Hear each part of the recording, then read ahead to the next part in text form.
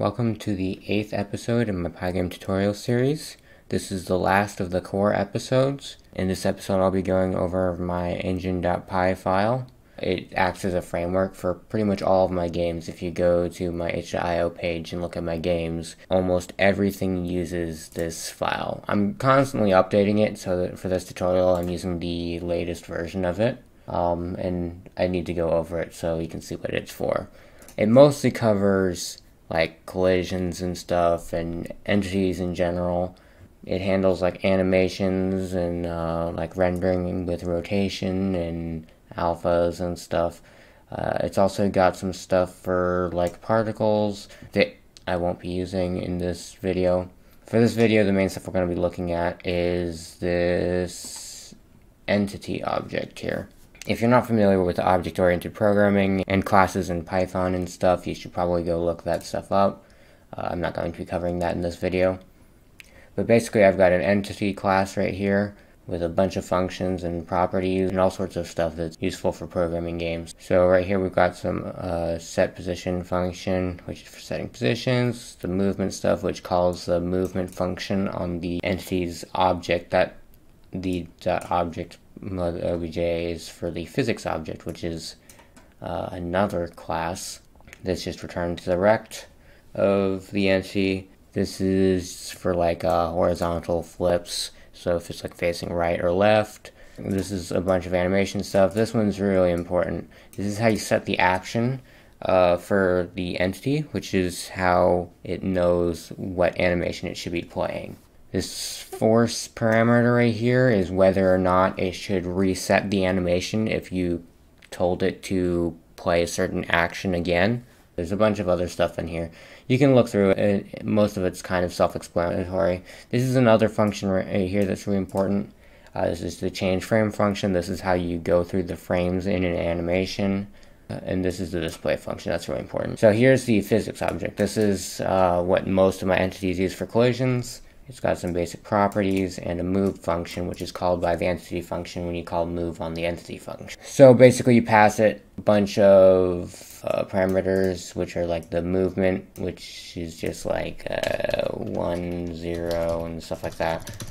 And then a list of platforms, which is in the form of a bunch of rects and then ramps. I'm not sure, but those may not be working as of now. I use them in Super Potato Bruh, and I may have broken them with some other stuff. I haven't messed around with them in a while, so they may be broken. Normally I just pass an empty list here.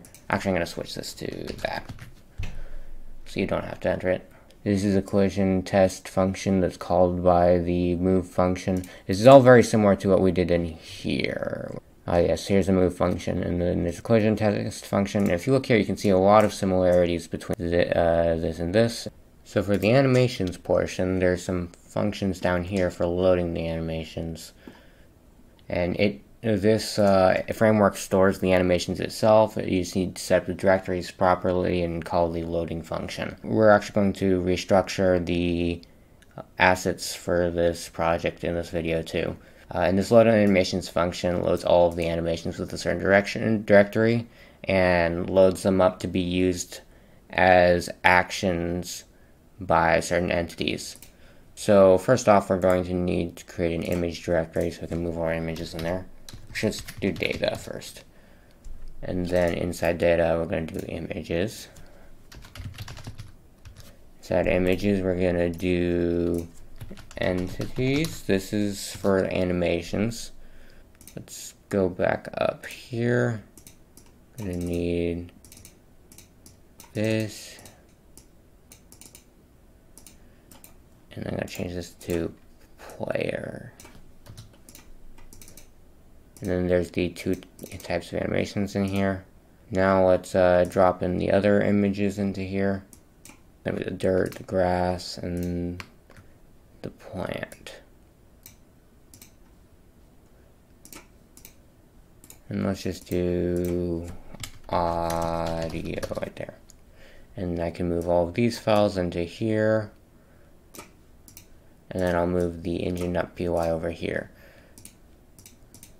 First up, we're going to need to import that engine in our script. So import in data.engine, so the engine Python file in the data directory as e, so we can just call it as e, so like e.entity will generate an entity.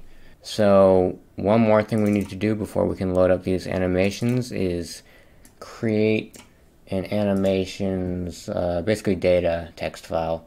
So I've already got one that I used for a Game Jam game recently. And I'm going to copy it over here. And it's got some pretty similar stuff. It's got our idle animation. So I'm going to go down here and look for how long those animations run for. So I believe these are the durations. The idle is 7, 740 and run is 7 7 we don't have a jump animation so I'm taking that out this loop thing is a tag that's used by the framework to tell what it should do when it's playing that action. If it's on loop, it'll repeat it once it reaches the end. You also need to be careful with this naming format. The first part of the name of these files is the name of the action under the name of the entity, and then underscore, and then the number of the image for the animation. If you're interested in this, you should probably look through here and look into how this stuff works. It's not really commented, so it might be a bit confusing, but it's also a bit self-explanatory. So let's load up our animations. So we can get rid of these animations right here, and we can get rid of these functions and that too. And we just call e.load animations data slash images and this is a folder to the animation stuff. So this folder right here, you can name it whatever you want, I think. So these paths need to be updated. So it's going to be data, images, and then I'll just copy that, move it over here. And then these ones are going to be data slash audio slash. And there we go. So I can remove these Okay, so I'll create a player object now. So player equals e, that's the engine, dot entity, that's the entity object, and then the x, y, x size, y size, that's going to be like the same as the rect from above. Now I just need to set the entity type, which the type is player because that's what I named the folder with the animations, it's player. That's how it knows what actions are associated with that entity. So I can remove this now because it'll generate its own rect. I don't need any of these that's its own thing now. I do need to keep this tau x thing because that's what gets passed to the move function. I also need to keep the player movement thing too. Okay, so here's the change action stuff, and I need to swap this out with the action stuff for my player entity. So player dot set action. So player dot set action, and this will be, of course, run, I believe. Or is this idle? Oh, it's idle and we don't want to force it because otherwise it'll be just be stuck on the first frame. And then over here this is the run one and also run over here. And the player also has the flip attribute which can modify with set flip. So player dot set flip false. And true over here. Now if you go over to here you'll see that there's different movement returns in the engine here. So collisions equals or collision types because that's what that thing uses. So move, we don't need to specify player rect anymore. We do player dot move, but we do need to pass it the player movement, the tile rects, and then I set the ramps over here to be automatically empty. And then if collision type bottom is true, this is all the animation stuff. So I can get rid of this and just do player dot change frame one. That'll go to the next frame of the animation. Now we need to implement the display function. So that's going to be player dot display display and then scroll because that's our scrolling variable. Everything else should be taken care of automatically. That should mostly be it.